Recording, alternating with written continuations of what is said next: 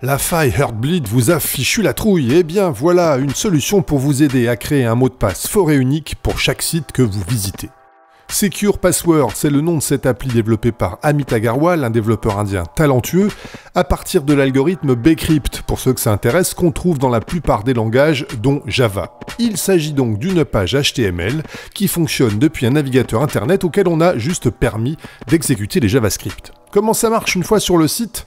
Eh bien, saisissez votre identifiant dans Username, puis le service auquel vous voulez vous connecter dans le champ Web Domain, par exemple Google pour les services Gmail et YouTube par exemple, puis le nombre de caractères que vous désirez pour votre clé et votre mot de passe à vous, le seul dont vous avez besoin pour créer une infinité de mots de passe et les retrouver. Et cliquez enfin sur Show Password avant de copier-coller votre code. Les mots de passe sont générés à l'intérieur de votre navigateur web, pas en ligne, et les données ne quittent donc pas votre ordi.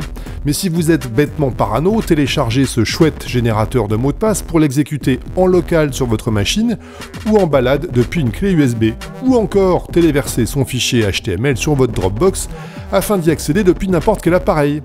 De quoi remplacer vos anciens mots de passoire. Un grand merci à l'ami Amit.